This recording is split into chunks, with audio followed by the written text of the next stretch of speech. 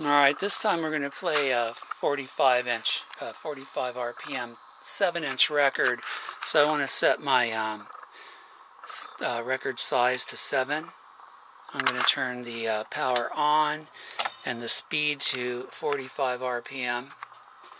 We'll take, I don't have any more spindle adapters for these, so we're just going to do one, a single record here. But we'll play it automatically. Alright, set it up there. Hit the engagement solenoid. Just begin to play. Tone arm moves to the 7 inch record position. Lowers.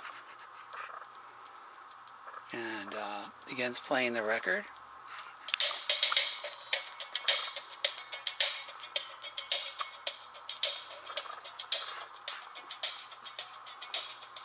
Okay, at the end of the record, um, tone arm will lift return to its rest, lower, um, but it will not shut off. All right, there you go.